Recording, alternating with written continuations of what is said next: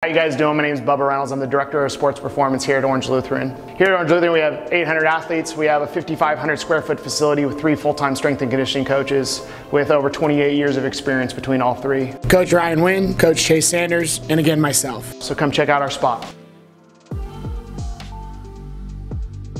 So again, you see what you get. I think we honestly have one of the best spaces in Southern California, if not the nation. 18 racks, you know, front and back, chains, band, bells and whistles, you know, everything to be able to execute a high level program for any high school, if not college in the nation. Our force deck force plates, it allows us to actually look at our athletes' force production from a concentric to eccentric means. We also look at asymmetries, right and left side of the body, to allow us to tailor programs specifically.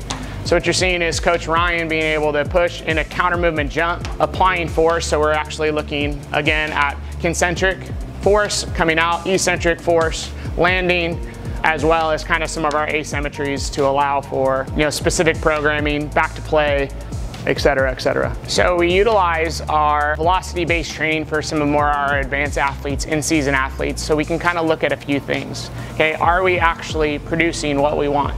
You know, in terms of power production, in terms of strength production, in terms of speed. So we utilize our velocity-based training to be able to tailor specific programming for specific times of the year. We also look at it in terms of load management. So if I have prescribed, you know, 80% for five reps, like are we being able to hit primarily what we want? Because we could be in a fatigue state, we could be under recovered, so we're gonna be able to tailor a lot of our uh, our weights around whether an athletes recovered and actually prepared to do um, the prescribed load of what we're giving them. What you're gonna see is the athlete profiles that we build. So we're gonna be able to specifically look at one, how the athlete is doing in our progression from a cycle to cycle, year to year basis, and also um, look at how he compares to the rest of the team. So we take some of our KPIs of what we actually wanna see from our athlete from a strength number, from a power production number, from an asymmetrical number, and then put his uh, in comparative data for the rest of the team.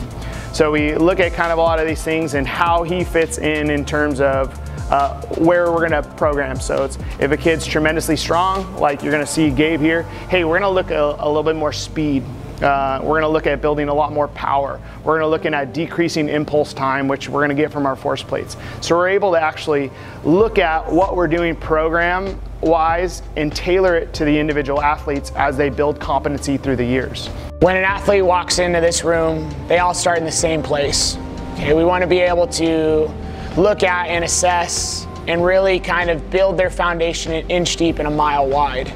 So we want to take them through kind of what we call our grease and groove phase. We want to look at, hey, building movement competency and moving, movement patterns, okay, and, and doing things the proper way. With the, the foundation pieces laid, then we want to start to kind of uh, layer in some of our more advanced phases, some of our gain and grow phases, which is our hypertrophy phase, where it's like, hey, if we need to put on more muscle mass, we're going to start to drive them more to that direction. Or a gain phase, where we're going to kind of put more of a strength emphasis, more of that injury resilience piece onto it. Okay, and then once those foundations are set and those programs are met, then we want to start going to our go phase where we want to look at the speed aspects of it. How are they applying force? How are they absorbing force? Are we actually really moving the needle in terms of athletic performance? So, kind of in a nutshell, what you want to see is those kind of first four years is really that foundation being set and then evolving into that gain and grow, and then really kind of ending with their senior year and upperclassman year with that go phase, really kind of pushing that athleticism to the next level to get them prepared for senior seasons and further on into college and professional levels.